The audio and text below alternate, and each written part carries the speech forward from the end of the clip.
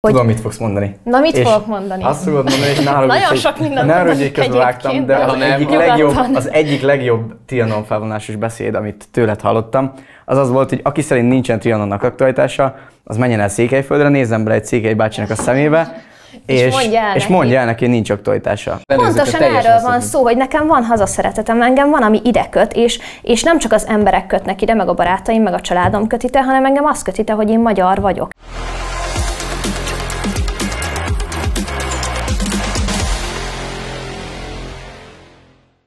Tehát akkor ebben a jó hangulatban dupláztuk meg éppen most a Mi Azánk ifjai kibeszélő podcastjainak a számát. Egyről a kettőre ugrottunk. Sziasztok! Ez itt a Fiatalok. Új vendégünk van, Kónya Dorka, a Vármegyéből, a Vármegye szóvivője. Sziasztok! Binder Csaba, a Mi Azánk ifjai elnöke. Sziasztok! És itt van Antal Áron, szintén a Mi Azánk ifjaiből. Örülök, hogy elfogadtátok a meghívást. Sziasztok. A múlt adásban, lehet, hogy Dorka nem látta, de egy kicsit beszéltünk a... De nem megnéztem. Megnézted? Megnéztem, szépen. éjszaka megnéztem. Éjszaka ezzel töltötted a, a, az estére. Szóba került múltkor a Momentum és a kordonbontás, és ott volt egy kis időugrás, ugyanis ők most éppen fiatal Orbán Viktornak képzelték magukat, és úgy csináltak, mintha 20 éve ezelőtt lennénk, és most ők lennének az Orbán Viktor. Egy hasonló, kisebb léptékű időugrással mennénk tovább. Trianon felvonulás az első témánk most, amikor beszélgetünk, éppen még ennek az eseménynek előtte vagyunk, amikor majd látjátok, halljátok, akkor pedig már néhány nappal után leszünk, viszont te vagy a főszervező Dorka, milyen hangulatban várod? Minden kész van? Hát persze, igen, minden, minden készen áll most már a felvonulásra.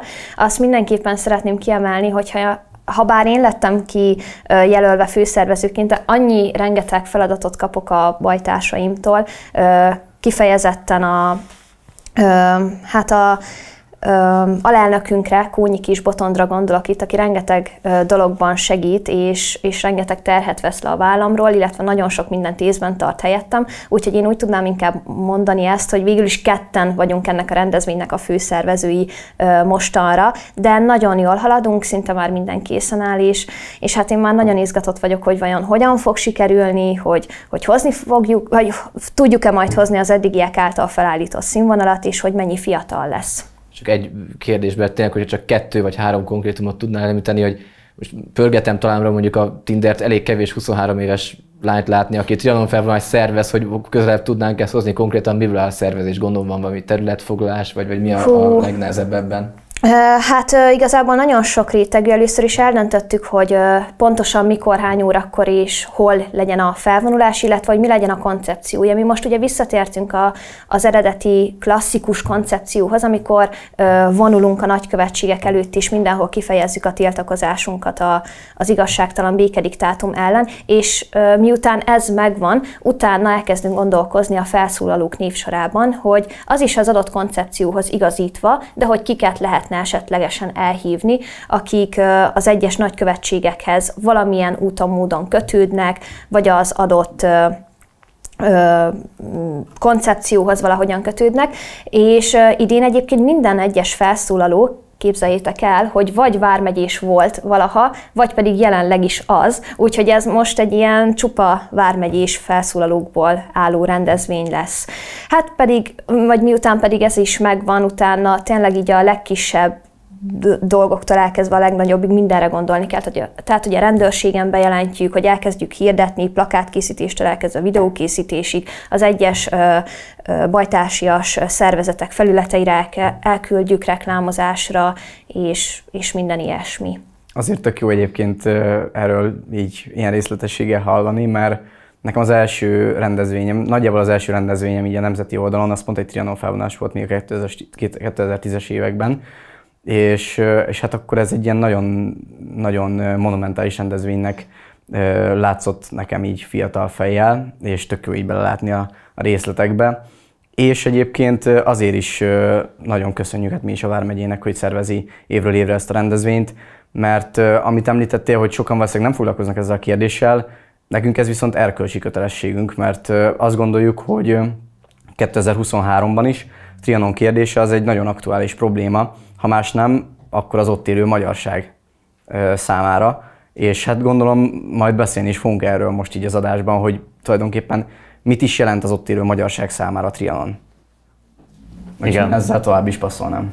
Ugyanígy gondolom én is, hogy abszolút hiánypótló egyébként ez a szervezés, amit végeztek, és a Trianról egyébként erkölcsi kötelessége szerintem a nemzeti oldalnak minden évben tényleg monumentális körülmények között és nagy felhajtással szó jó értelmében véve megemlékeznie és nincs is ennél nagyobb aktualitása nem is lehet szerintem ennek a kérdéskörnek akkor, amikor azt látjuk, hogy mind a román állam ugye elnyomja az ottani magyarságot, jelesül egy olyan államfőnek a vezetésével teszi mindezt, aki próbálja egyébként a belpolitikai botrányokról a magyarokra, az ott élő magyarokra terelni a felelősséget, és őket okolni mindenfajta sikertelenségért.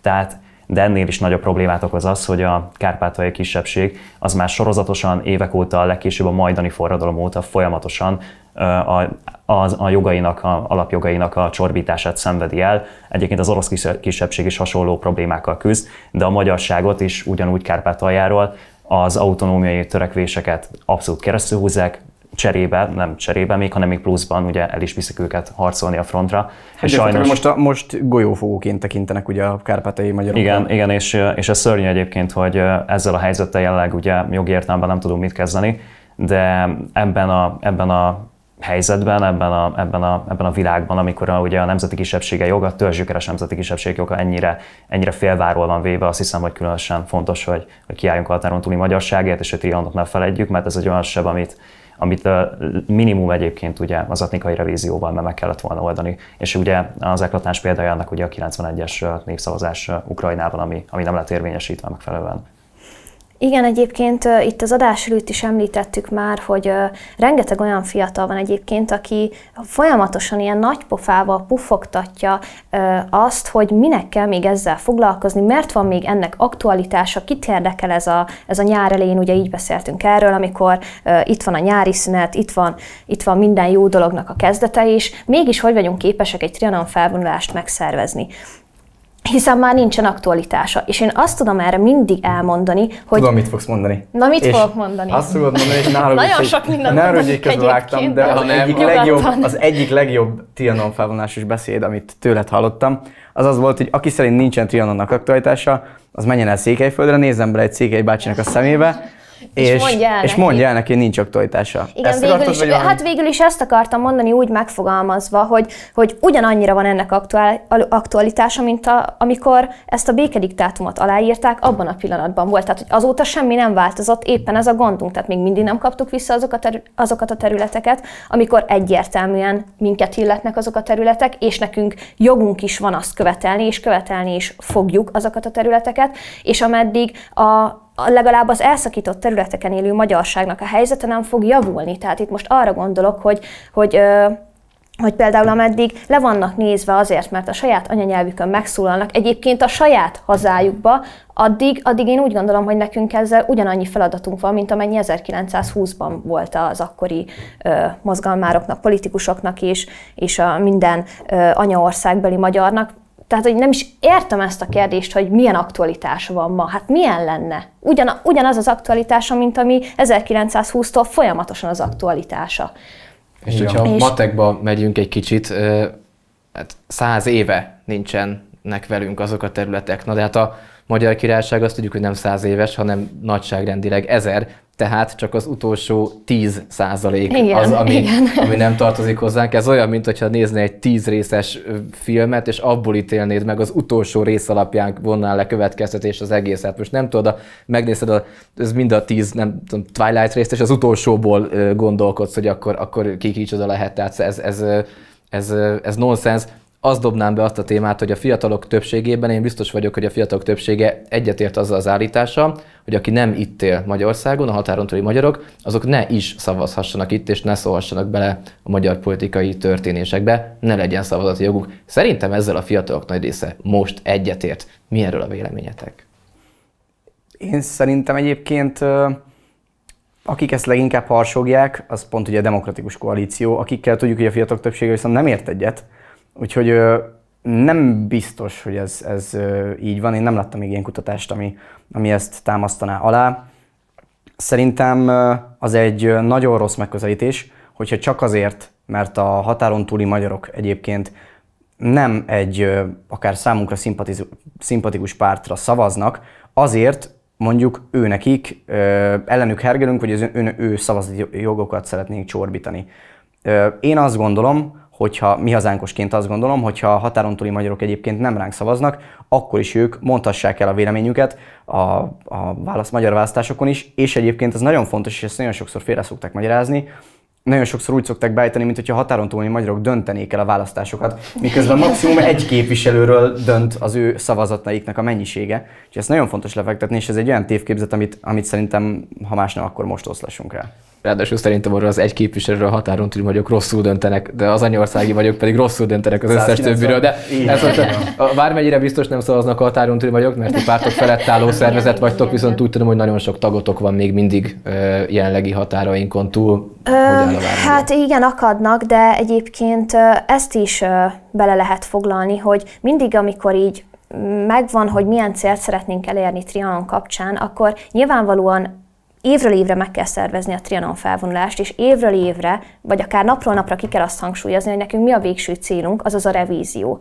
De nyilvánvalóan ezt egyik pillanatra a másikra nem lehet így megvalósítani, hogy, hogy már pedig mi kerjük azokat a területeket vissza és készpont, hanem ki kell jelölni azt az utat is, ami elvezet ahhoz a bizonyos célhoz, tehát kisebb célokat is ki kell jelölni, és ilyen kisebb cél például az autonómia törekvés is. És amikor nekünk vármegyés tagjaink Erdélyben hát az autonómia törekvés terén elkezdtek sikereket elérni, akkor abból tudjuk, hogy mi lett Igen. Székelyföldön, tehát hogy egy terrorváddal, amit kitaláltak, nyilvánvalóan semmi alapja nem volt, börtönbe vetették az ottani vezetőket, Románia egész területén betiltották a vármegyét, és, és ellehetetlenítettek minden ö, revíziós törekvést is, és minden autonómia törekvést is.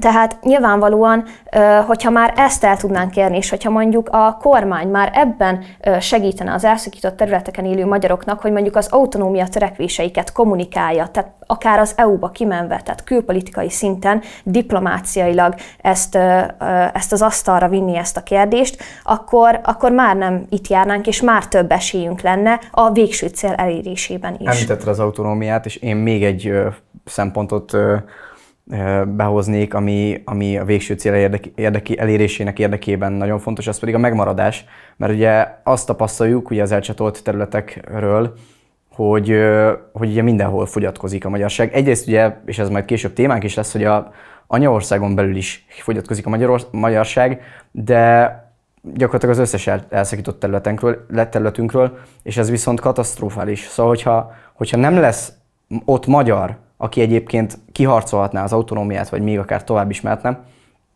akkor, akkor egyszerűen nem lesz, aki ezt, ezt mellettünk, velünk együtt kiharcolja. Úgyhogy szerintem ez is egy nagyon fontos szempont, hogy, hogy ezzel is kezdeni kell valamit, hogy maradjunk meg Anyaországon belül és Anyaországon kívül is. Igen, és egyébként, bocsánat, ehhez kapcsolódik, amit mondasz, hogy hatalmas tisztelet jár egyébként azoknak az elszakított területeken élő magyaroknak, akik mai napig képesek voltak megőrizni az identitásukat és ellenállniuk mindenféle mind verbális, mind akár fizikailag is az ütéseknek, vagy fizikai értelemben is az ütéseknek, hiszen addig is sokszor elfajult a helyzet, és hogy még mai napig képesek őrizni az identitásukat, és nekünk is azért fontos ezt ennyire hangsúlyozni és ennyire kiállni mellettük, mert hogyha a generációkat nézzük, akkor viszont náluk is a fiatalabbak már már náluk ez már annyira jellemzően nem figyelhető egyébként meg, mint az idősebb korosztálynál, hanem már ők is úgy vannak vele, hogy hát én akkor, én nem is tudom mi vagyok, én mondjuk egy, beszélgettem is egyébként egy felvidéki magyar fiatal 25 és 30 év közötti sráccal, aki ezt is mondta, hogy hát én egy kicsit szlovákiai is vagyok, kicsit magyar is vagyok, de, de amúgy nem tudom, hát általában jobban járok, ha nem mondom, hogy magyar vagyok, aztán most minek mondjam. Igen. Tehát, hogy, és, és nem is érdekli, tehát, hogy neki ez nem fáj, ő ezt így tényként elfogadta, hogyha, hogyha ő ezt nem vállalja fel, meg nem kezd vele semmit, meg ezt így elengedi, ezt a dolgot, akkor sokra többre fog, sokkal többre fogja vinni az életbe. És én ezért szeretném tényleg kalapomat emelni az összes olyan elszakított területen élő magyarért, akik viszont képesek megőrizni az identitásukat, akármi is lesz ennek a következménye, mert ez, ez, ez, ez egy nagyon fontos aspektusa a kérdésnek. Még annyit egyébként, hogy szeretnék igazából rácsatlakozni mindkettőtök véleményére, mert abszolút én is így látom ezt a helyzetet hogy ennek az egyik sarokköve tényleg az lenne, hogy az autonómiát azt megpróbáljuk kiharcolni, mert azért látni kell, hogy délvidéken nagyobb esély van, mint a kultúrának a megőrzésére, mint pedig a nyelvnek a gyakorlására. És a szocialista rendszer is, meg egyébként a rendszerváltás után pont ez a nem törődömség, ez a, ez a baloldal által képviselt, meg egyébként a Fidesz által korábban képviselt, mert ők sem nemzetiek, tehát a Fidesz által képviselt, ez a nem törődömség, meg a határon túljakkal való nem foglalkozás okozta azt, hogy nagyon sokan az a jelenség kialakult, amiről most az előbb említettél, Dorka, hogy fiatalok közül már nem igazán tartják magukat magyaroknak, mert mondjuk adott esetben a szocializmusban ugye nyelvet is nem lehetett sokszor használni, tehát erre is voltak rendelkezések. Egyébként még azt szerettem volna ezzel kapcsolatban említeni, hogy ugye említetted, hogy a, a DK volt az, aki főleg ezt az irányvonalat vitte, hogy a határon túliak ne szavazzanak, mert hogy egy parlamenti hely ugye eldől rajta, ami baromira befolyásolja az esélyeket, mindig rommá vannak verve. De ettől függetlenül azért azt meg kell állapítanunk, hogy sajnos ma a baloldal körében és az ilyen gondolkodású fiatalok körében táptalaja ennek a szerintem nagyon káros gondolkodásnak, és és egyébként a Fidesz is olyan szempontból ehhez hozzátett, hogy a határon túli magyarokra nem úgy tekint, mint nemzetestvérekre, hanem mint szavazógépekre. És 2010 óta ugye az állampolgárság az nem is inkább a határon túliaknak szólt szerintem, hanem sokkal inkább a gyurcsányista, vagy a, a megyesi kormánynak volt egy, egyfajta visszavágás, vagy bocsánat, gyurcsány kormány, aki 2004-ben ugye az amellett kampányoltak, hogy 23 millió román munkavállaló, mert magyar állampolgárságot ne adjuk meg a határon túli magyaroknak, tehát ez elképesztően arctalan dolog, vagy arcátlan, és feláborítónak tartom ezt az egészet. Másrészt pedig igen, tehát hogy a, ha etnikai revízióban kell szerintem minimum gondolkodni, de a közeljövőben azért az autonómiát minden fórumon fel kell szólalni. Volt ugye ez az Európai Polgári Aláírás Gyűjtés kezdeményezés, amiből hát sajnos nem lett ugye semmi. Meg egyszer azt hiszem a Román Szociáldemokrata Párt az alsóházon átjutatta az autonómia törekvését a ottani magyar képviselőcsoportnak, de, de a felsőház leszavazta ugye az államfői nyomásra, ami egyébként szintén borzasztó. És, és igen, a népesség szaporulat, az, az látjuk, hogy most is egy abszolút egy csökkenő tendenciát mutat, tehát népesség csökkenés van sajnos egész fejlett nyugati világban. És, és az a nagyon fontos egyébként, hogy azért szokták amellett érvelni, hogy a határon túli magyarok ne szavazzanak, mert hogy ők máshol, más országnak az állampolgárai, és foglalkozzanak a saját országuk belpolitikájával, meg nem itt adóznak, nincsen bejelentett lakcímük. De azért vegyük már azt figyelembe, hogy a külföldre kivándorló magyaroknak evidens, hogy meg kell adni ugyanúgy szavazójogot, meg nekik ők is szavazhatnak, de akkor azok a magyar állampolgárok miért nem szavazhatnak, akik egy egy centit nem mozdították el a saját lakhelyüket, meg a, a, a, tényleg a saját hazaikból nem költöztek el, a határok változtak meg így, hogy a családjaiktól elszakadtak sajnos annyira jól átvezettétek itt a szavazásra, meg a határok változtak meg a következő témára, hogy annyira fölöslegesen érzem magam, mint egy román fejrat mondjuk Székelyudvarhelyen, de hát akkor beszéljünk. Várj, de Dani, várj, Igen? mielőtt átvezeted, még csak egy dolog, és ezt tényleg lezárhatjuk ezzel Trianonnak a témáját, csak ez így most eszembe jutott azok kap, hát minden kapcsán, amit eddig beszéltünk, hogy gondoljunk már abba bele, hogy mi történne, hogyha itt Magyarországon mondjuk valamelyik iskolában ö, betiltanánk azt, hogy mondjuk valamilyen nemzetiségi gyerek nem tanulhat a saját nyelvén, vagy például nem szólalhat meg roma nyelven az iskolába, ugye ilyen, tehát hogy a cigány gyerekeket érintő kérdéseket, ha kicsit boncolgatjuk, igen, akiknek igen, konkrétan igen. egyébként ilyen felzárkóztató programok keretében tankönyveket írnak egyébként itt Pesten, hogy fel tudják venni a, a versenyt a, a, hát azokkal a tanulókkal, akik nem hátrányos helyzetből indulnak, és a nyelvi hátrányt is fel tudják venni, és ennek az egyik része például az, hogy olyan tanórákat tartanak nekik, amelyek a saját anyanyelvükön vannak, és akkor mondjuk a lovári nyelven magyarázza el nekik egy, egy cigány tanárnő a történelem anyagot. Tehát, hogy gondoljunk már bele, hogy itt mi történik. Gyanítom, hogy az Európai Uniónak ez sokkal jobban fájna, mint bármelyik Hát az abban biztos vagyok, igen. Akkor most tulajdonképpen azt mondod, hogy a roma gyerekek jogait védő szervezeteknek Magyarországon akkor tiltakozni kéne a magyar kisebbség jogaikért kint Romániában. Hát ez egészen, egészen az, tehát akkor, akkor várjuk, hogy az Amnesty International vagy a, vagy a Helsinki Bizottság itt magyarok kisebbségi nem, jogait én, fogja Spoiler, nem fognak. Nem fognak, nem Én fognak, csak szimplán annyit mondtam, hogy gondoljunk már ebbe bele, és akkor mi nem arról beszélünk, hogy mondjuk elvettük a, a cigányoknak itt a hazáját, ha bár tudom, hogy ők ezt szeretik így hangoztatni, de nem erről van szó, hanem, hanem mi fogadtuk be őket, és akkor itt vannak közöttünk, napi szinten együtt élünk velük, és, és még ilyen téren is segítünk nekik, közben meg azokon a területeken, amiket jogtalanul tőlünk elvettek, elvileg etnikai alapon aztán látjuk, hogy ez nem minden esetben etnikai alapú volt, mert konkrétan olyan falvakat, városokat is vettek el, aminek konkrétan 90% a magyar lakta terület, és akkor ott meg nem szólalhatnak meg az anyanyelvükön, és mondjuk én tudok olyan példáról, jó nem most, hanem egy 15 éves sztori, hogy egy tanárnőt azért rúgtak ki az iskolában, mert sírta a magyar gyerek az iskolában, valami gondja volt, és a tanárnő magyarul vigasztalta meg, és ezért rúgták ki, hogy nem szólalhat meg az iskolában, csak szlovákul. Tehát, hogy gondoljunk már bele, itt hol lenne ilyen? Ez csak így zárójel bezárva Semmi felháborodásomat kifejezve. kettő, én a cigány témákról is át tudom vezetni a következő témát, tehát semmilyen problémát nem okoz. Nagyon mert jó sem akkor. a cigány, sem a magyar gyerekek nem tudtak járni a koronavírus idején az iskolában. Most erről beszélgetnénk egy kicsit, ami hozzájárult a fiatalság kollektív mentális állapotának a lezülesztéséhez. Ez lehet, hogy most ilyen túlságosan tudományosan hangzott, de ha csak abba belegondolunk, hogy itt osztálykirándulások maradtak el, szalagavatók maradtak el, valaki az érettségét sem tudta abban a minőségben letenni, a gondoljunk, csak csomó szóbeli is elmaradt, nem tudtak nyelvvizsgázni, és majd egy későbbi adásban arról is lesz szó, de hát azért online nehéz mondjuk jogosítványt is szerezni, csak is kizárólag online, ami 18 éves kortól megint aktuális lenne, és most tényleg nem feltétlen csak arról beszélünk, hogy bezárták a szóróközéket, és jaj, kev- szegény gyerek kénytelen volt otthon maradni, hogy Isten olvasni, hanem itt olyan alapvető közösségi élmények től lett megfosztva a generáció, és azt hiszem most már ennyi év távlatából látjuk, hogy én legalábbis úgy látom, hogy jó részt fölöslegesen kellett ezeket a, a, az áldozatokat meghozni. Az oltások témáját nem ide keverő, de hát mégiscsak nonsens, hogy valaki mondjuk tizedik fél év, második, tizedik év, második fél évben látta először az osztálytársait.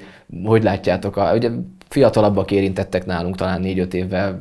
Mi voltunk, mi, mi, uh, mi osztályunk volt, 22, de a mi osztályunk volt, a mi osztályunk volt a, az utolsó osztály, akik tudtak még úgy egyetemet kezdeni, meg úgy érettségizni, hogy meg úgy ballagni, hogy ez egyébként meg volt tartva, és, és nem online volt, vagy, vagy egyetem is volt, el volt halaszva. A lényeg ebben a témában szerintem az, hogy a 21. századnak alapból is egy nagyon ö, nehéz története így a, a fiataloknak a közösségi ö, helyzete, hiszen ugye van egy ilyen eszköz, ami egyébként sok szempontból jó, hogy van, mert megkönnyíti az információszerzés, stb. Ugyanakkor a közösségi kapcsolatainkra negatívan is tudhatni, mert már nem kell személyesen találkoznunk senkivel ahhoz, hogy mondjuk időt töltsünk el, hanem elég csak messengeren beszélgetnünk. És erre egy, egy hatalmas nagy lapáttal tett rá a koronavírus okozta lezárások, meg bezárások, meg este 8 óra után nem lehet kint lenni az utcán, és, és ez a fiatalok mentális állapotára na, szerintem nagyon-nagyon károsan hatott. Hát érdekes, hogy én, amikor még gimnáziumba jártam, mi iskola pszichológusról nem is nagyon hallottunk, nem nagyon tudtuk, hogy mi az, és most, amikor én fiatalabbakkal beszélgetek, akkor, akkor egy nagyon népszerű és egy nagyon látogatott intézményként hivatkoznak erre. És, és ez egy nagyon érdekes kérdés, ezzel mindenképpen foglalkozni kell, és hát én azt veszem észre, hogyha így az oktatási intézményekkel kapcsolatban ö, tekintünk, akkor, akkor a kormány nem, hogy ezzel nem foglalkozik, de még a, a mentálisan nehéz helyzetben lévő fiatalokat tanító tanárokkal sem foglalkozik, úgyhogy ez egy súlyos probléma lesz a jövőben.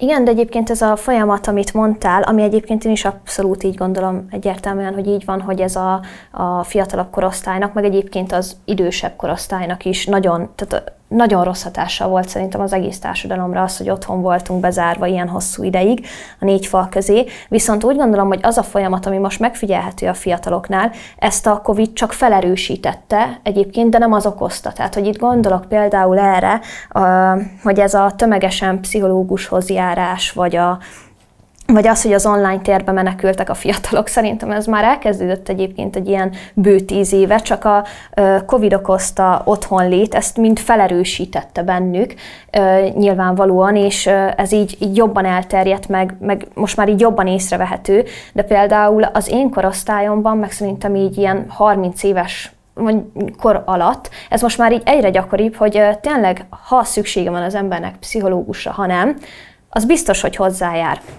És egyébként szerintem ennek az az oka, hogy ugye mivel a modern világban vagyunk, egyrésztről van egy ö, ilyen oldala is a dolognak, hogy, hogy az ember már elvesztette az Istennel való kapcsolatát igazából, és a lelki gondjait, meg a lelki problémáit, azokat most már nem a papokkal beszéli meg, hanem most már elmegy a pszichológushoz, és ott beszéli meg, mert most már vele tudja jobban megbeszélni azokat a Nem, dolgokat. hogy Istene, hanem már egy pattársa sincsen, ki lehetne beszélni. Hát az most más kérdés, hogy valakinek olyan problémá. Itt most kifejezetten azokról beszéltem, akik, akik nem azért járnak pszichológushoz, mert ez divat, mindjárt arra is kitérek egyébként, hanem akiknek tényleg szükségük van rá, mert én nem, nem mondom azt, hogy senkinek nincsen pszichológusra szüksége, nem értek ez a dologhoz, tehát nem akarok úgy ítélkezni senki felett, hogy nem tudom, hogy ő milyen gondokkal küzd. Tehát nyilvánvalóan lehet, hogy valaki rá van szorulva, és már nem tudja mondjuk egyedül, vagy a barátaival, vagy a családjaival, családai tagjaival megosztani, vagy megoldani ezt a problémát. Viszont tényleg ez már egy ilyen divattá is vált, és most már minden boldog-boldogtalan, akinek van rá pénze, megy ö, pszichológushoz, és kitalál magának unalmában otthon ilyen bipoláris személyiségzavartól elkezdve a depresszión keresztül mindent, hogy ő neki milyen traumái voltak gyerekként, mert hogy a szülei ezt meg azt nem engedték meg neki, és hogy ez milyen rossz dolog, és képes kemény pénzeket kifizetni azért, hogy valaki csendbe meghallgassa, és a végén adjon neki egy olyan tanácsot, amit egyébként bárki el tudott volna neki mondani, vagy ha egy YouTube videót felcsap, megnézi, körülbelül ugyanennyit ér egyébként. Tehát, hogy ez valami borzalmas. És, és ott a másik, hogy mivel ennyi ideig maradtak otthon a fiatalok, a másik, ami felerősödött nagyon, az a, az, az online térben való részvételük, és itt lehet akár a vagyis én most itt nem a közösségi médiára gondolok, az is külön megérne egy misét, de most abban nem megyek bele, hanem kifejezetten az ilyen számítógépes játékokban, ami egyébként főleg a fiúkra jellemző, ebben lehet, hogy ti jobban képben is lesztek, hogy egy olyan világban találták meg azokat az ingereket maguknak a fiatalok, amik egy, ami egyébként nem létezik. Tehát egy virtuális térben élik a mindennapjaikat, minden szükségletüket ott élik ki, onnan kapnak meg minden ingert, és ezután már a való világ az már nem tud számukra elég érdekes lenni. És ez, ez csak egyre följebb csavarja, úgymond a közösségi médiában bizonyos Meta nevű cég, ugye a korábbi Facebook, vagyis a Facebooknak ugye a, a tulajdonosi köre, hiszen ugye a Meta olyan olyan alkalmazásokat, meg olyan új technikákat mutat be, ami gyakorlatilag tényleg a személyes emberi kapcsolatokat nullára tudja redu- redukálni. Úgyhogy mindenképpen szerintem abban most így konszenzus van, hogy a, a leginkább szorongást, meg a leginkább ilyen, ilyen hát negatív folyamatokat eredményező dolgoknak a kiindulási alapja az, hogy, hogy magányosnak érzi magát egy, egy fiatal, nem mozog közösségekben, és otthon magának pedig hát lesznek ilyen traumatizált És, a, dolgai. és ennek a sebessége pedig annyira aggasztó és annyira gyors, hogy csak egy negyed generációval ezelőtt én, én, én arra emlékszem, hogy nekem óriási élmények kötődnek a számítógépes játékhoz. Hát rátettük a, a, a tévére a FIFA-t, áthívtam hét barátomat, de nem kevesebbet. Mindenkinek a kezébe nyomtunk egy joystickot, és négyen fiúk a fiúk ellen fifáztunk hajnalokig. És kurva jó volt, és nagyon jól éreztük magunkat. Most mi van? Tudom, mert sajnos pont van egy, egy, egy érintett öcsém, mint az nem sajnos, hanem, hanem a, a mostani mondjuk 14-15 éves korosztály, egyedül vannak egy szobában, mindenki rajta a headset, és akkor folyamatosan beszélgetnek egymással olyan nyelvezeten, hogy hát én azt nem is, nem is értem föl, nem foghatom, de ha már befejezték a játékot, mert elegük van belőle, és már az agyuk teljesen ö, kifüstölt, akkor bekapcsolják, azt hiszem, hogy a legnépszerűbb youtuber talán a Kresser nevezetű, akkor bekapcsolják ezeket az influencereket, és azt nézik, ahogy ő játszik.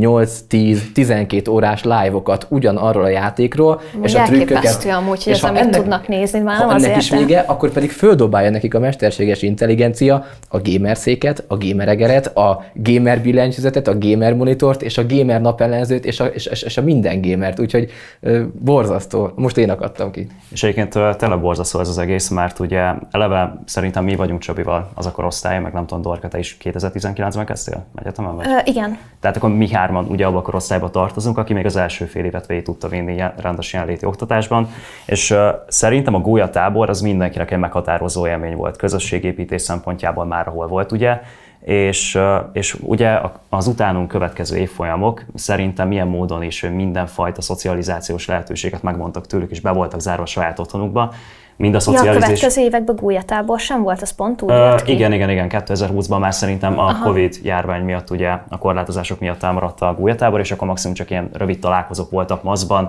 minimális tereken, úgyhogy uh, nyilván nem lehetett ezt uh, semmilyen módon bótolni, helyettesíteni.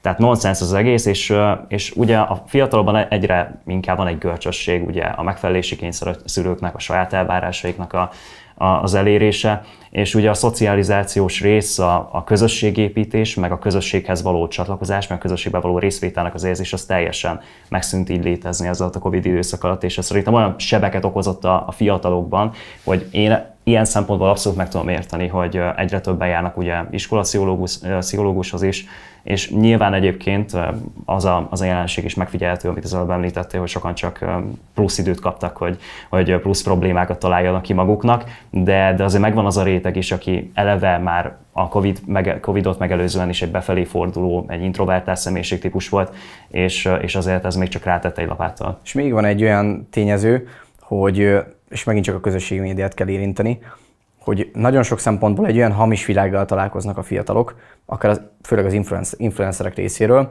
amikor mondjuk egy influencer bemutatja azt, hogy ő mondjuk, mit tudom én, Dubajba ment el nyaralni most, mert annyi pénze lett a, a influencer tevékenységben. Igen, igen és, és hogyha, hogyha nyilvánvalóan ez egy vonzó dolog egy 16 éves embernek, hogy ó, akkor csak videókat kell készíteni magamról, meg Instára posztolni, és akkor ebből lesz pénzem ez a, ez a valódi életnek a, a totális félreértelmezése és, és hazugsága. Mert hogyha Tényleg hát van ilyen, hogy, hogy esport, azt most gondoljátok így már. Van, így, így van, meg abban is világbajnokság. De, de, hogy, de hogy aki, a, aki egy fiatal számára azt mutatja, hogy egyébként ez az élet, és te neked csak annyit kell tegyél, hogy kitegyél képeket Instagramra, és ebből meg fogsz gazdagodni, utána, és ez, ez nagyon sok minden elvezethető, mert utána valaki ezt elkezdi, neki nem úgy jönnek a lájkok, ő ettől depressziós lesz, és már is ott tartunk, hogy... hogy a pszichológushoz. Igen, szóval igen. Igen, de egyébként ez tényleg igaz, hogyha most rátérünk a közösségi médiára, hogy ott ö, ma már minden adott ahhoz, hogy felépítsen valaki magáról egy olyan képet, ami egyébként nem ő. Igen. És ez, ez elsülhet visszafelé is, elsülhet úgy is, hogy te azzal az adott ö, megszerkesztett, felépített, több ezer ö, követővel rendelkező ö, oldalnak vagy a tulajdonosai, és te azzal azonosítod magadat, aztán a való életben egyszer pofára esel, de ez megtörténhet úgy is, hogy neked ez nem jön be, te ezt nem tudod felépíteni, téged nem tartanak tartanak, nem tartanak elég szépnek, meg jónak, meg nem tudom minek, és, és akkor omlasz magadba, hogy te ebben nem tudod megállni a helyedet, pedig a mm, csoportodba, vagy az osztályodba, vagy a baráti körödben mindenki másnak egyébként ez sikerült. Meg Dani, amit te mondtál egyébként, hogy nem tudnak elszakadni a, a számítógépeiktől, eszembe jutott egy nagyon jó uh, sztori, hogy amikor gyerektáborba voltunk, hát ott nyilván a kisebb korosztálynál előfordul, hogy honvágya van és képzeljétek el, hogy volt egyszer egy olyan, hogy sír a kisfiú, hogy haza akar menni. Tudja, oda megyek hozzá beszélgetni, hogy hiányzik anyukád. Ja nem, nem. Mondom, hiányzik apukád. Nem. Se. Mondom, a kiskutyád? Az már egy kicsit. Mondom, és akkor ki hiányzik még? A számítógépem, én már játszani akarok. Vasárnap kezdődött a tábor, ez hétfő délután volt, és ad, és kísírta a szüleinél, ugye milyen jó ez a hazatelefonálás, hogy vigyék haza, mert neki hatalmas honvágya van, és ő játszani akar, és hiányzik a számítógépe, és jobb otthon ülni, mint a táborba lenni. Tehát én ezt egyébként egy ilyen megoldásnak is tudnám így javasolni, hogy az a megoldás, mert ezt mindig szokták egyébként hiányolni, hogy jó, hogy elmondjuk, hogy mi működik rosszul, de hogy akkor mi a megoldás, és én erre azt tudnám mondani, hogy az, hogy egyszerűen ahelyett, hogy közhelyeket puffogtatunk a fiataloknak, mert mi átérezzük, hogy ez amúgy mennyire idegesítő tud lenni, ahelyett egy jobb ajánlatot kell tenni a számukra, és igen. egy, és egy jobb, jobb programokat, jobb életet Élményt. kell teremteni igen. nekik, nekik, igen, jobb élményeket kell adni nekik, mint amit egyébként az online térben kapnak. Akkor erre mondjam erre már egy példát, akkor a Vármegyei ifjúsági táborában ezek szerint nem lehet esportot kipróbálni, de nem tudom, van könyv. Nem, de mondjuk élőben vagy... lőhetnek airsofttal. Az lehet jobb, mint az egerrel lőni. Bár én nem tudom, számomra jobb, de, de nem tudom. Például igen, vagy mondjuk... Biztos, hogy az is szerintem, aki megtapasztalja, azután a száz százalékban azt fogjuk mondani, hogy jobb. Igen. Csak Tehát, hogy tudjátok, mi mit, el, mit élveztek a tavaly előtti ifi táborban a legjobban, amikor ö, egy ilyen utcai harcot ö, ö, hát szerveztünk meg, hogy táborozunk a szervezők ellen, hát majdnem nagyon vertek minket, halljátok, úgy beleélték magukat a játékban, hogy még kavicstól elkezdve flakonon át mindent, a slaggal, a vizet kaptuk, mindent. Valahonnan előkerült valamelyik táborozónak a zsebébe egy gáspri, az a szétfújtak minket. Tehát, hogy annyira élvezték, hogy utána könyörögtek, hogy legyen már még egy, mondtuk biztos, hogy nem. nem volt, nem volt se, se anti-cheat system, se semmi, se TeamSpeak, semmi Igen. nem volt. Nem, nem. És érdekes módon, és még valaki ennek a szájából el is hangzott, hogy hát ilyen még a játékokban sincsen. Tehát, hogy igen, egyszerűen jobb ajánlatot kell nekik tennünk, nekünk egyébként a programjainkkal, és nekünk kell ide vonzani őket, vagy hát előcsalogatni őket a szobájukból. És hát nem mellesleg, itt két ifjúsági szervezetből ülünk most az asztalnál, közösséget kell nekik adnunk, hiszen nagyon sokan magányosak, és nagyon sokan, akiknek nincsenek olyan, nincsenek barátaik, ők, ők egyszerűen nem tudják, hogy merre mozogjanak, tár, társkereső oldalakra regisztrálnak, vagy, vagy Szóval az a lényeg, hogy, hogy nem találnak közösség, közösséget maguknak, és mi, mindkettő szervezetnek, akiktől most itt vagyunk, ez egy nagyon nagy feladat, hogy minél több szá- fiatal számára közösséget biztosítsunk, és, és ezzel megkíméljük őket ezektől a mentális gondoktól. És úgy gondolom egyébként, hogy ilyen téren egyébként mind a két közösség jól teljesít, mind a HVM, meg egyébként a Mi az Enkife is, mert uh, szerintem nem kifejezetten hangsúlyos egy-egy régióban, vagy hogyha valaki bekerül bármilyen szervezetbe, hogy ott tényleg az, az, a, az, a, az a csapat, az közösségé Személyes találkozás, Személyes találkozások, barátságok, bajtársiasság alakul ki, és egyébként még uh, ugye ti is már feszegettétek a, a youtubereknek a, a felelősségét, de azért nem menjünk el mellette teljesen, mert, mert ugye sajnos ezekre a, ezekre a youtuberekre a fiatalok úgy tekintenek, mint valami általóra, akinek az életmódját, az életpályát követni kell, pedig egyébként ezt látjuk, hogy hova vezet. És, és hogyha valaki már tudja, hogy ekkora felelőssége van, akkor azzal a tudattal próbáljon meg valami tényleg olyan dolgot átadni a követőinek, ami hasznos, amiből lehet építkezni. És ja, mi van a táskámban? Hát körülbelül igen, vagy hogy milyen dobozban, nem tudom, milyen ajándékcsomagokat kaptam tőletek, kedves követők, tehát hogy ez, ez tényleg színvonal alatti és, és egyébként vannak egyébként erre pozitív példák, akik, akik valóban minőségi uh, tartalmakat gyártanak. Persze. Csak ez a ritkán, sajnos. További problémáik, hogy nem csak az a baj, hogy a fiatalok egész végig ott vannak a szobájukban és átgubasztják az életüket, hanem az is baj, hogyha valaki túlságosan messzire megy, valahogy meg kéne találni az arany középutat. Az elvándorlás soha nem volt még ennyire magas, és ezt elmondhattam volna tavaly is, tavaly előtt is, azelőtt is, és lehet, hogyha három évvel fölvesszük a podcastnek a 148,8 részét, akkor is el fogjuk tudni mondani, hogy soha nem volt még ilyen magas a fiatalok kivándorlásai aránya nem kérdezem meg azt, hogy miért lehet, mert tudjuk, hogy több a fizetés, talán kevesebbet kell dolgozni, lehet, hogy jobbak a megélhetési feltételek, na de hát ez talán így volt 500 évvel ezelőtt is. Hogy látjátok ezt a kérdést? Hát szerintem egyébként egészen tragikus ez a tavalyi évnek a produktuma, hogy, hogy ennyien hagyták el ezt az országot, tehát azért már megfigyelhető egyébként, hogy az elmúlt 30 évben megjelentkezik ez a tömeges kivándorlásnak az esete, és akkor hol kisebb, hol nagyobb arányban azért ez folyik.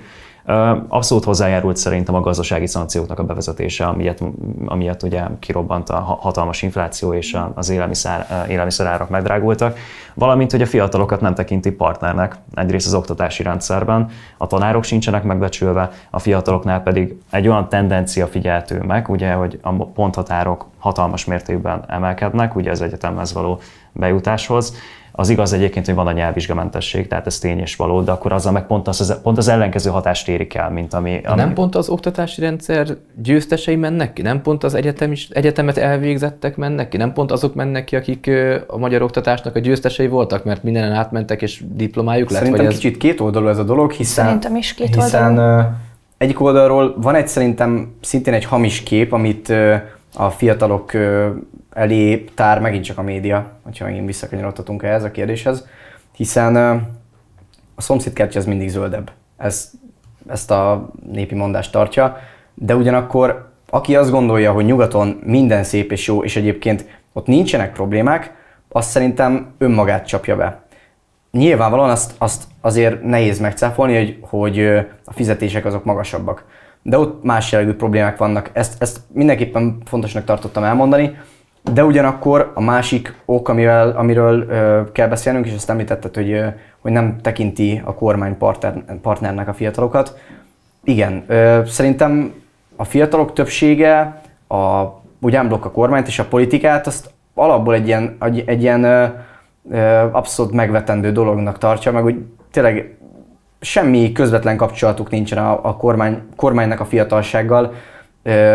Van egy, van egy fiatal kétfelős helyettes államtitkár, akiről én se tudom, aki a politikában elég otthonosan mozgok, hogy kicsoda.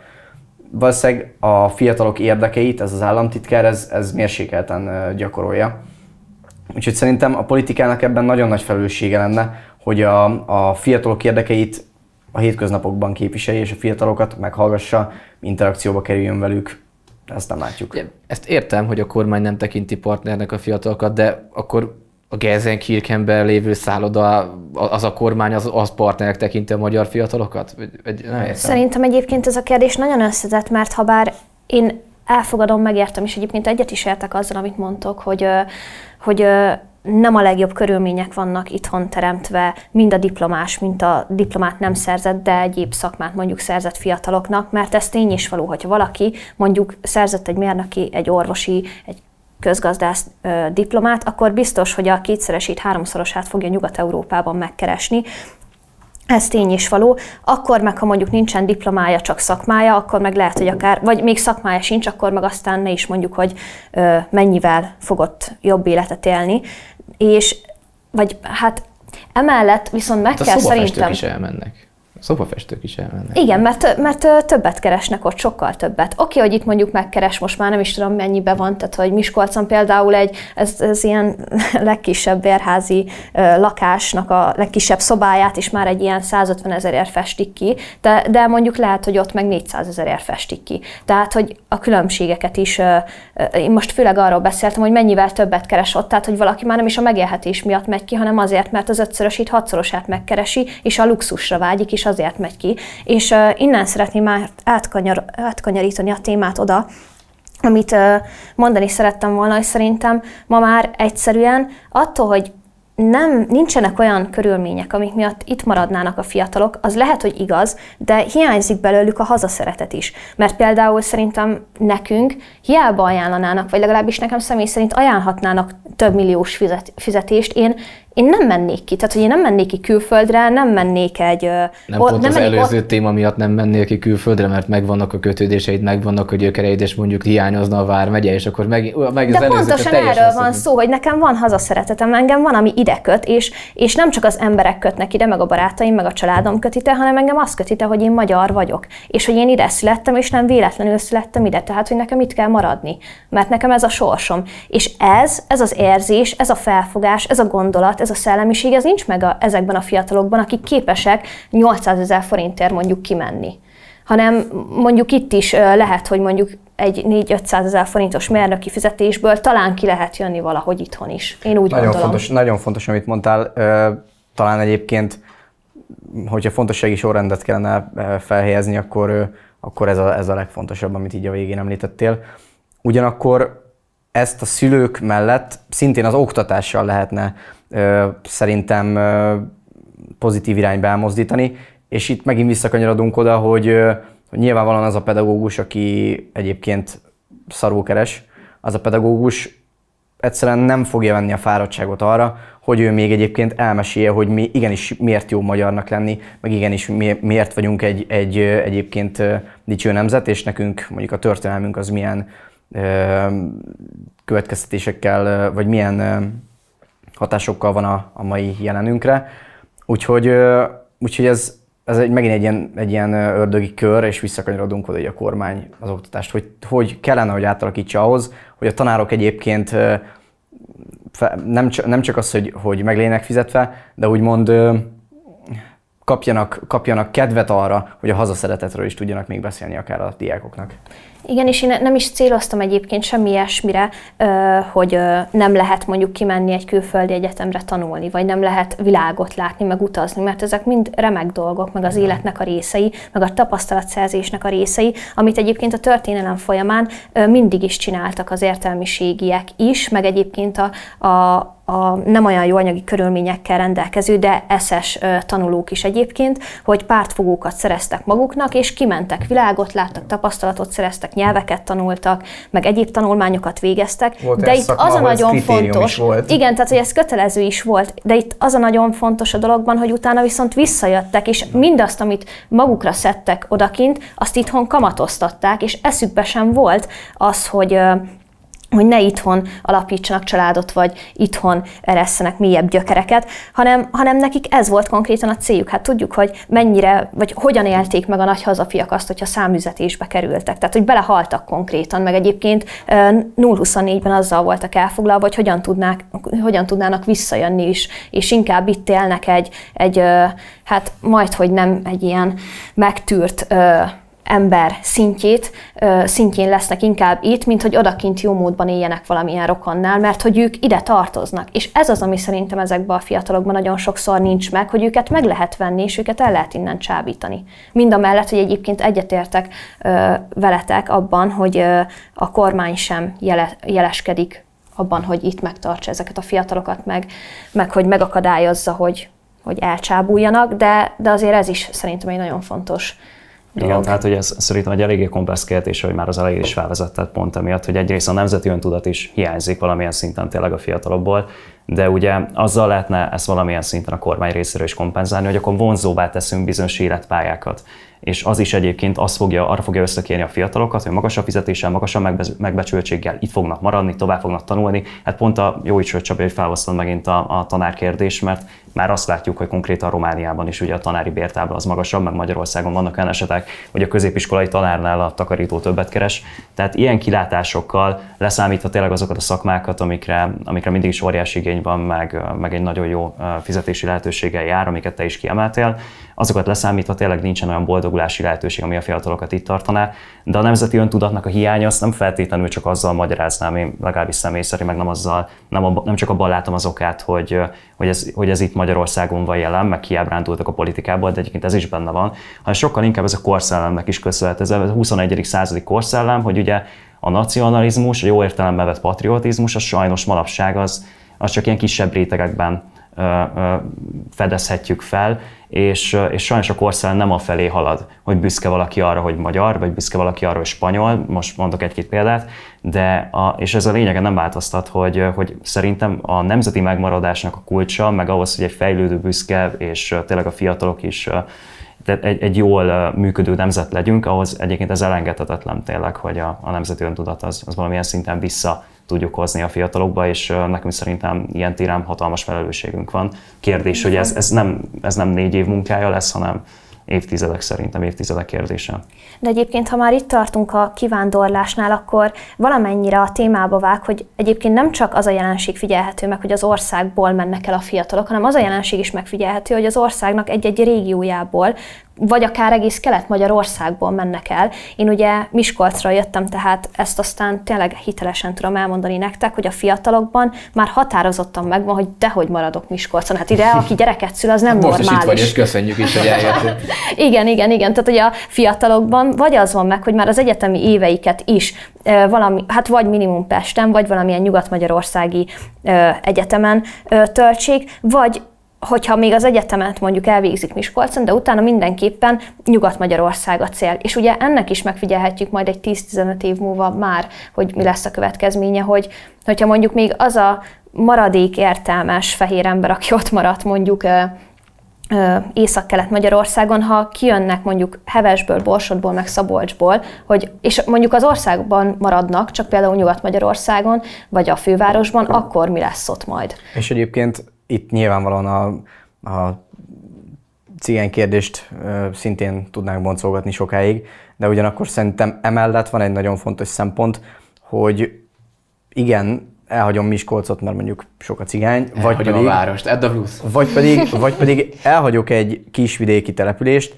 mert a közelben nincsen egyetem, és Budapesten pedig feljövök, és 15 egyetem közül tudok választani, és kinyílik a világ, és egy fiatalnak kell lesz, hogy kinyíljon a világ. Úgyhogy ez is egy nagyon messzire vezető kérdés. Igen, én itt egyébként nem feltétlenül azt akartam mondani, hogy ez egy hát nyilvánvalóan egy rossz dolog, de na, emiatt már én nem tudnám a fiatalokat hibáztatni, és nem csak azért, mert Miskolci vagyok is, Léci, hagyják már onnan, én most nem erre gondolok, hanem arra gondolok, hogy mert nyilván azért az országon belül hagy mozogjon már mindenki oda, ahol jobb lehetőségei vannak, és ahol mondjuk úgy érzi, hogy, hogy értékesebb munkát tud végezni, és ezt úgy is lehet érteni, hogy értékesebb gyerekeket tud nevelni mondjuk a Balaton mellett, mint mondjuk Miskolc Jukója mellett. Ugye Jukó az, aki nem tudná, az ott Miskolc belvárosától egy picit arrébb eső, hát több száz cigány lakta rész, ahova ha valaki bemegy, nem biztos, hogy kijön élve, de lehet, hogy sehogy se jön már onnan ki. Szóval, hogy, hogy igen, tehát, hogy ez, ezért én nem tudom hibáztatni egyébként a fiatalokat, csak mindenképpen azt mondom, hogy, hogy ez is már egy olyan folyamat, ami már szerintem lehet, hogy visszafordíthatatlan. Igen, tehát hogy erre akartam igazából rácsatlakozni, amit mondtál az a kapcsolatban, hogy a belső migráció az végül is szabad, meg lehetősége van rá az embernek, de az, hogy nyugat felé, meg egyébként a főváros orientált lesz csak a súlypont, az azt fogja eredményezni, falva fognak elnévtelen lenni, meg fiatalok nem maradnak ott, akik egyébként a jövőt építenik helyben, lokálisan. És, és ez az ez a jelen problémát meg most megint a kormányba kell hozni, hogy meg egyébként az elmúlt 30 év, sőt elmúlt 80 évnek a rezsimjeit, hogy van az a észak-kelet-magyarországi terület, illetve Békés vármegye, amiket ezek ugye a legszegényebb régiói közé tartoznak az EU-nak, ugye a top 20-as Eurostat listán sajnos már 30 éve minimum rajta vannak, és tudatosan ezeket a, ezeket a területeket nem fejlesztik, és egyébként mind a szegénységnek köszönhetően, például egyébként annak köszönhetően vannak olyan, többek között annak köszönhetően is vannak olyan kezdeményezések, mivel ugye a fehér magyarok elhagyják ezeket a régiókat, hogy mondjuk valaki, például Kamarás István, ha jól emlékszem, az Opera Roma párt, országot, cigány autonómiát, egy cigány... Hát nőnek az esélye, hogy Igen, igen, igen, szeretne egyébként. ott létrehozni, és ugye a Momentum, ami ugye szavakban a fiatalok érdekét akarja képviselni, leül ezekkel a szeparatistákkal tárgyalni, de ugye ez már csak a jékeinek a csúcsa, meg ez csak a folyamatnak a vége, mert ugye ez a folyamat tényleg odáig fog vezetni, hogy minimum Nyugat-Magyarország és Budapest lesz a súlya mindennek, és a többi falvak, a vidék, ez abszolút csak a, a közép, meg az annál idősebbeknek lesz a, a lakhelye, és ott nem lehet igazából jövőt teremteni, ami elég nagy probléma. Igen, és jó, hogyha már jövőteremtésről beszéltél, akkor egy szempontot behoznék. Szerintem nagyon sokan azért vándorolnak el, és így visszakanyarodva az eredeti kérdéshez, mert nem tudják elképzelni magukat hogy öt év múlva ők hol fognak tartani itt most Magyarországon, mert felmen, felmennek a egyik lakáskereső oldalra, és megnézik, hogy mondjuk Budapest belvárosában, hogy ne túl messze az egyetemüktől, hogy azért mit tudom én be tudjanak járni, hol tudnak egy lakást bérelni és mennyiért. És így összehasonlítják adott esetben mondjuk a diák munkából megkeresett pénzükkel, vagy és nem jön ki a matek. Vagy az ösztöndíjukkal. Vagy az ösztöndíjukkal, igen, és nem jön ki a matek azt tapasztalja, hogy hát akkor az azt jelenti, hogy, hogy még valahogy kellene pénz, és majd az étkezés meg kimarad egy egész hónapra. Szóval ez is egy nagyon fontos kérdés, hogy, hogy kellenek olyan támogatási rendszerek, és, és kell, kell egy, egy jövőképet adni egy fiatalnak, egy, egy olyan jövőképet, amit, amit ő át tud látni, akár 5-10 évre tud előre tervezni. Ez nagyon fontos. A családalapításban is nélkülözhetetlen, hogy ő el tudja magát képzelni, hogy hogy fog odáig eljutni, hogy ő egyébként ö, feleséget talál magának, és gyermekei lesznek. Na jó, de ők már kimentek, most már kim vannak. Hogyan lehetne őket visszahozni? Mert amikor kimegy egy magyar fiatal, vagy akár középkorú, mondjuk éppen menekülve a, nem tudom, devizahitel csapdából, az első dolguk, hogy megkeresik a nagyvárosukban lévő magyar közösséget, és ahhoz szeretnék. Tehát nagyon fura helyzet, valahol azért bennük van ez a honvágy, vagy ez a, ez a fajta magyar érzés. Bármelyik, nézzétek meg a, a könnyűzenyei együtteseknek a koncertjeit, teltházban, Berlin, Frankfurt, London, mindenféle tankcsapda koncerten, akármilyen koncerten, teltház, teltház, teltház, teltház. Azért várnak erre, vágynak erre. Londonban minden sarkon magyar étterem, magyar Hát mert mindenhol minden, jó, de legjobb otthon. Tehát, hogy ez nem csak egy közhelyes kijelentés, hanem ez tényleg így ja. van. Tehát, hogy nem érzed magad máshol otthon. Nem érzed magad máshol jól, mert idegennek érzed magad abban a közösségben, főleg, hogyha itt éltél le 20-25 évet, és utána mentél oda ki. De akkor nem érzed magadénak azt a közösséget, azt a kultúrát. Tehát, hogy, de egyébként szerintem sokkal nehezebb már őket visszacsábítani onnan, mondjuk, ha van két-három gyerekük, meg egy jól, jól kereső állásuk, utána már sokkal nehezebb mondjuk úgy felnevelni egy-két-három gyereket, hogy hirtelen fel annyit keresel. Tehát, hogy az már összehasonlíthatatlanul nehezebb. Ezért szerintem a kulcs ott van, hogy megakadályozzuk, hogy kimenjenek.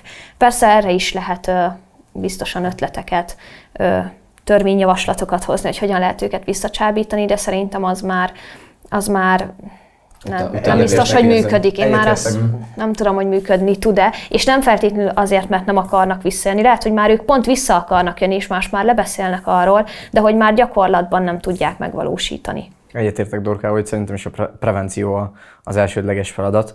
Ugyanakkor külön kell választani, mert nyilván aki gazdasági okok miatt ment el, őket azzal lehetne visszacsábítani, hogyha, hogyha mondjuk itthon is magasabb fizetések lennének, stb. ezek elcsépelt dolgok, azért kötelességünk ezeket mindig elmondani. Pénzért hazát? Én azt gondolom, én azt gondolom, hogy nem jó dolog, és én például magamról tudom, hogy soha életemben nem fogom elhagyni ezt az országot, nyilvánvalóan lakhatási célból, utazni fogok, meg szeretek is, de ugyanakkor ez a hazám is, én itt is fogok meghalni.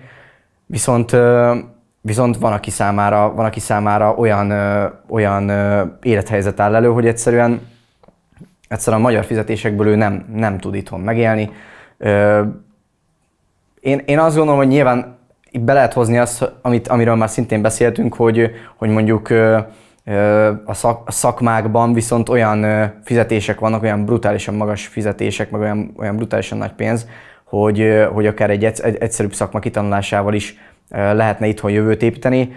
Nekik ez volt a választásuk, ettől függetlenül mi a politikában foglalkozó emberekként kötelességgel bírunk feléjük is, és, és meg kell hallgatni, hogy ők egyáltalán miért jönnének haza, és egyébként a mi hazánknak a képviselői pont most járták be fél Angliát, amikor, amikor kül, külföldre vándorolt magyarokkal beszélgettek, és, és meg kell kérdezni, hogy, hogy mi az, ami őket hazacsábítaná, és a prevenció pedig talán a legfontosabb tényleg. Igen, és egyébként a gazdasági okok miatt azért ne feledkezzünk meg arról sem szerintem, hogy itt a politikai sártobálás, ami a két nagy tömb között ugye folyik, az is egyébként olyan hatásgyakorlat főként a fiatalokra, de akár egyébként a, a családosokra is, hogy, hogy elhagyják ezt az országot, és ez tényleg lehet egy olyan faktor, ami, ami nekünk ugye konstruktív ellenzéként azért felül kell emelkednünk, és felül is emelkedünk szerintem a javaslatainkkal a mindennapokban, de, de ez tényleg nagyon sok embernek a, az alacsony fizetések, a rossz munkalehetőségek mellett, vagy körülmények mellett, meg ugye ami, amellett a folyamat mellett, hogy ugye munkalehetőség ugyan van, de azokat a munkalehetőségeket nem, azt a, nem azzal a magyar munkavállalóval, nem azzal a magyar munka, álláskeresővel töltik fel, aki egy tisztességes bért szeretne kérni, miután már elvégzett egy egyetemet, vagy mondjuk egy szakmát kitanult, hanem ugye harmadik országbeli, Igen. igen. harmadik országbeli ö, ö, állampolgárokkal. Mi hazánkos srácok, azt állapítottátok meg itt a Székelyudvarhelyi vagy a határon túli kárpát-medencei magyarokkal kapcsolatban, hogy attól, hogy jó eséllyel nem a mi hazánkra szavaznak, még nem kéne elvenni a szavazati jogukat. Mi a helyzet egy nyugat-európai magyarra? Biztos, hogy ők sem a mi hazánkra szavaznak. Az ő szavazati joguk maradjon, menjen? Én, hát, Szintén magyarok. Ö, Én azt hiszem egyébként, és ö, szerintem egy mondatban össze lehet foglalni ezt az egész ö, szavazás kérdés, hogy ki szavazhat, ki nem, hogy ö, cenzusra amúgy szükség van, de az ugye az oktatás meg mondjuk műveltségi cenzus lenne, szerintem, legalábbis nekem ez a személyes véleményem. De az, hogy a határon túliak szavazhatnak, az szerintem evidens, meg az is egyébként minden magyar állampolgár szavazhasson, hiszen ö, már itt olyan értelemben, tehát aki a magyar nemzethez vallónak, és ezt meg is éli a magyarságát, az szavazhasson, teljesen mindegy, hogy határon túli magyar vagy külföldre kivándorolt magyar, mert ugye az egy nemzethez való tartozásnak az erősítését, az pont, hogy erősítenünk kell, és nem elvenni úgy, hogy bizonyos csoportokat kirekeztünk a, a szavazásnak a lehetőségéből, és ez a kirekesztés egyébként nem egyelő azzal, hogy egy alap minimum követelményt felhozunk arra vonatkozóan, hogy akkor ki mehessen, ki mehessen el szavazni, mert az viszont növelni egyébként a, a politikának, a parlamenti plenáris üléseknek a színvonalát, hogyha mondjuk olyan emberek Nyilván szavaznak. nem kell. Hát igen, nyilván. Tehát, hogy azért az írni olvasáshoz, va- vagy az ír, ahhoz, hogy valaki tudjon írni, olvasni, ahhoz lehetne egyébként Hát a kötni plenáris minimum. színvonalát azt lehetne növelni. ahogy, ahogy, ahogy így figyelgetjük most már hónapok óta Csabival ott hátulról tényleg meg, megbújva, hogy egészen Alvó képviselőt, Beteg- beteg gondolatok. képviség, minden van. Igen, igen, igen. Jó, figyú, vége az adásnak.